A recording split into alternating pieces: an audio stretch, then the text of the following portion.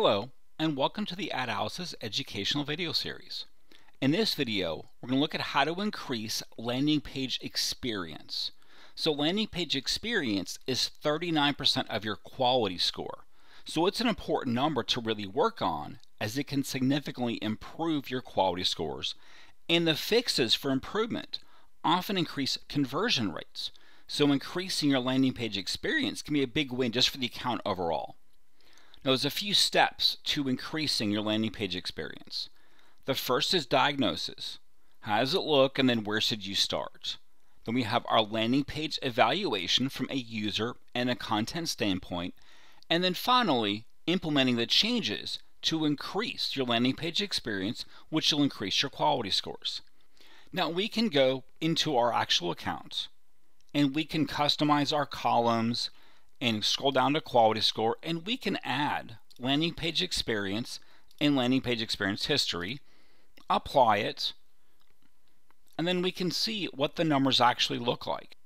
Then we can filter this information and we can filter by landing page experience is below average, apply it, sort this by impressions, highest to lowest to, to see what that looks like. Now, this is nice to do for your, your top impression pages to see where you want some improvement in your, your top impression keywords, but it's very misleading because it doesn't show you how that page is doing across the account. How many keywords are good with it, are poor with it, and so forth. So instead, there's a better way to really start diagnosing how a page is doing across your account. Because often pages are used with multiple keywords, often in multiple ad groups. So if we go to reporting and click on the reports, we'll be taken to the report editor. We can create them. Now what we want to see is first our keywords. So let's add our search keywords. We want our URL. Now what's important here is your ad final URL is what you to add if you're doing most of your URLs at the ad level. If you're doing keyword level, you want to use the keyword final URL. Now, if you're using both, you can go ahead and just add both of them. So next, what we want to see is our impressions. So we see how often this page is used. And then, of course, our landing page experience. Now, we could add more to this right? We could go ahead and we could add cost data and clicks and conversions, so forth, and build a much more robust report. For a, a initial quick view, this is the minimum data we need. Now with reports, it's often useful. It's often useful to you know, save them. So if you rename it and then click save, you'll save the report. So now we're going to download this and look at this data in Excel so we can figure out exactly how each page is being used. Now we have our actual port and we can just open our port in Excel, and I've changed the um, domain to be example as opposed to the advertised information. Delete the first column, select your data, and then we're just going to go insert and make a pivot table.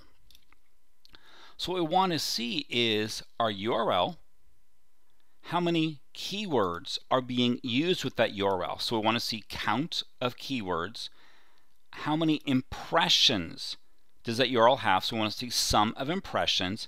And then we want to filter on landing page experience and only include data where we have below average landing page experience. Now we can click into our pivot table, go to data, and then we can sort it highest to lowest. So this page has 16 keywords and 3,600 impressions, all being below average. This one's 44 keywords. So what this is going to start to show us are the initial pages that are probably used in multiple keywords across multiple ad groups that need the most help. So look at your top impressions and then we can also sort by how many keywords are used with each page to see where we have the most keywords that may need to have different pages or changes to the pages. So then we can do is we can take these pages, go back to our data, and then we can filter, right? We can make a filter for our information and then just look at what keywords are used with that particular page. if you have some keywords that fit different pages better, then you can just change the URL or where those keywords are to go to a, a more effective page. If not, then there's some more data we want to get into. Now, if you're using a system like Adalysis, this data is already placed for you where you can see here's the URLs, here is how many keywords have above, average, and below landing page experience, and then we can just click on them very easily. We have 905 keywords for this URL. So some of these aren't going to be related, such as computer shop and printer repair.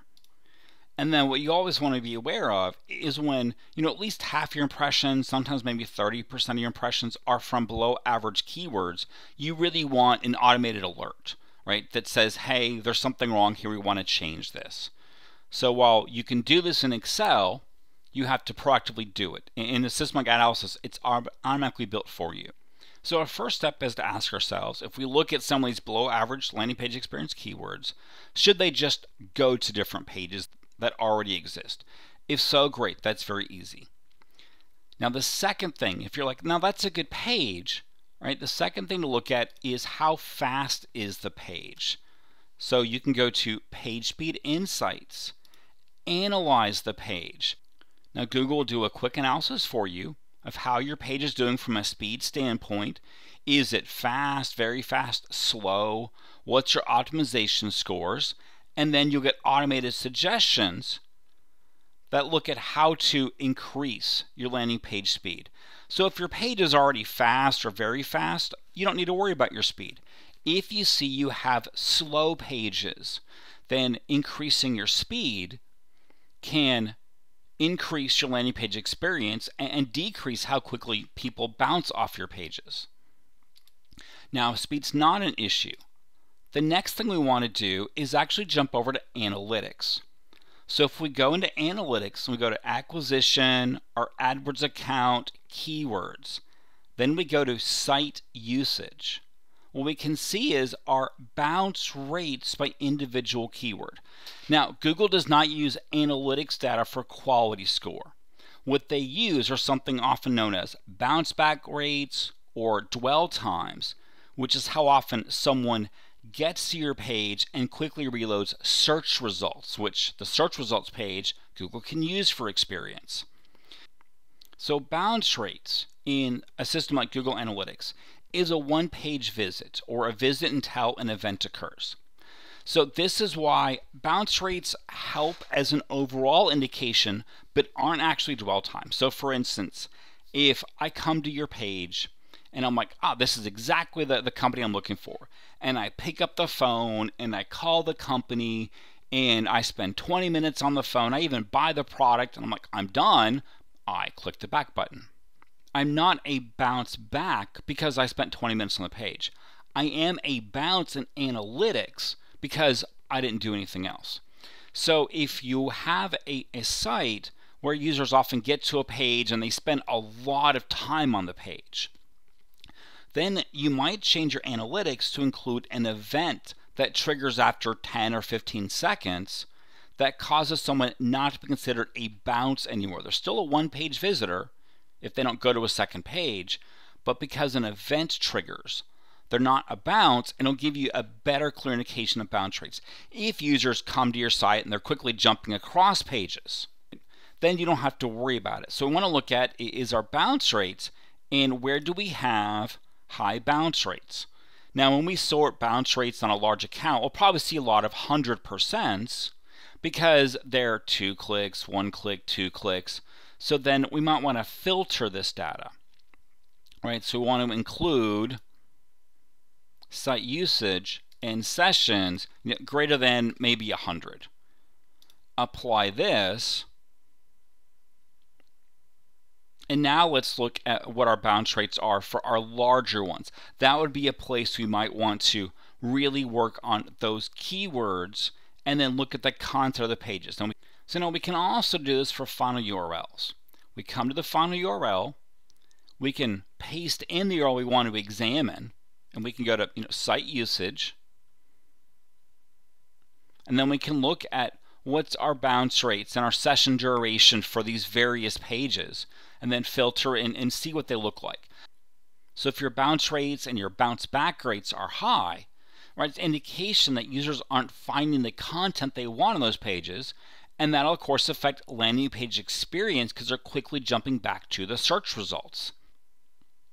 So then once we see we have good page speeds, our keywords are going to the proper pages of our website, then it comes to thinking about content.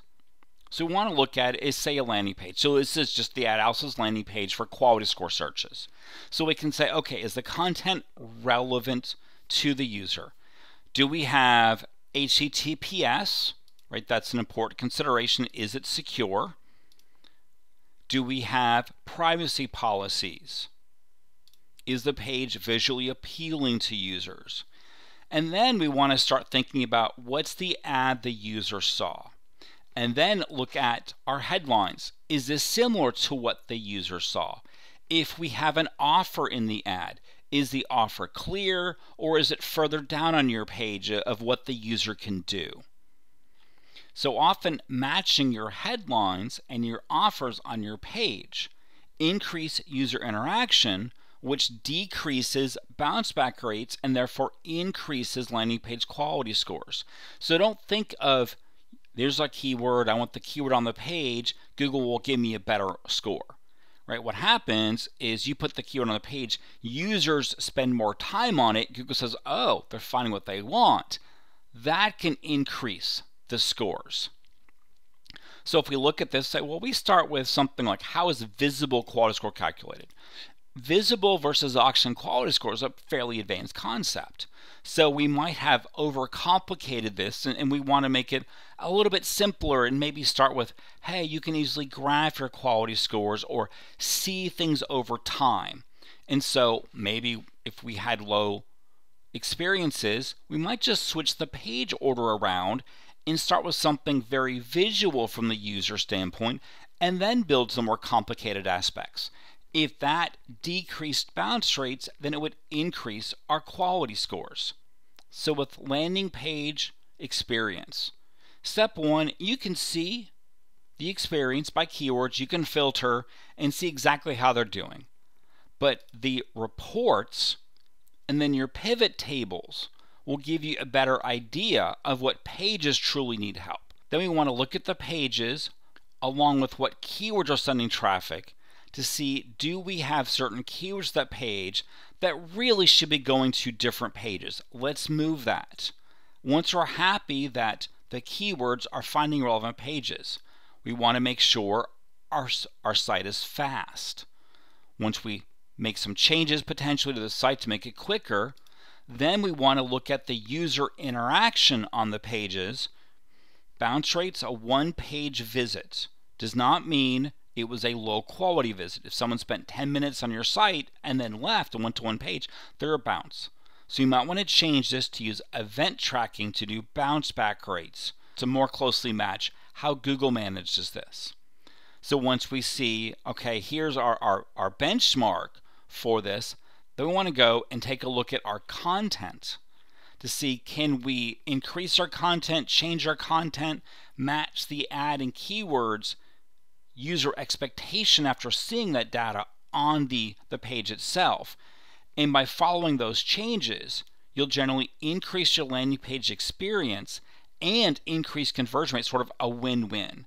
And of course, if you want access to all these charts, data, easy ways of viewing your quality scores, then you know feel free to take a look at what Adalysis has to offer as it makes a lot of this a much more streamlined experience for you.